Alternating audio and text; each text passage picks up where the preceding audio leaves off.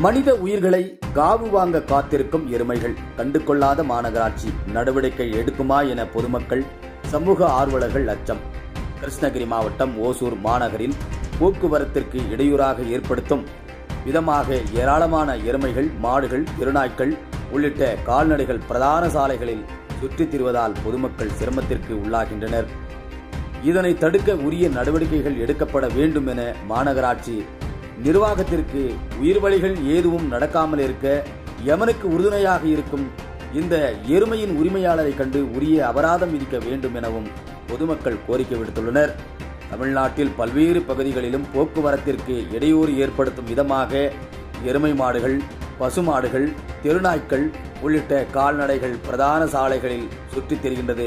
இதனால் வாகன ஓட்டிகள் மற்றும் பொதுமக்கள் போக்குவரத்தால் நிலை தடுமாறுவதால் உயிரிழப்புகளும் நேரிடுகிறது. இவற்றை தடுக்கும் விதமாக அரசின் சார்பில் கால்நடை உரிமையாளர்கள் மீது உறுதுணையான நடவடிக்கைகள் மேற்கொள்ளப்பட்டு வருகின்றன.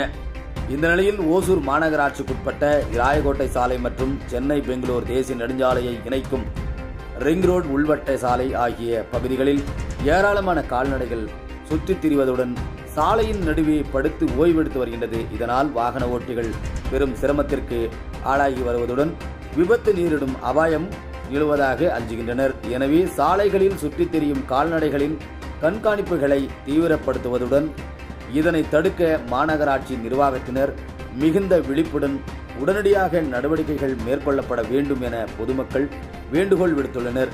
பல்வேறு பகுதிகளில் இந்த கால்நடைகள் வாகனங்கள் வாகன ஓட்டிகளுக்கு குறுக்கே நுழைந்து வருவதால் பல்வேறு விபத்துகளும் ஏற்பட்டிருக்கின்றது. இதனால் அதிவேகமாக வரக்கூடிய வாகனங்கள் திடீரென பிரேக் போடும்போது பின்னால் வரும் வாகனங்கள் ஒன்றுக்கொன்று மோதிக்கொண்டு விபத்துகளும் ஏற்பட்டு வருகின்றது.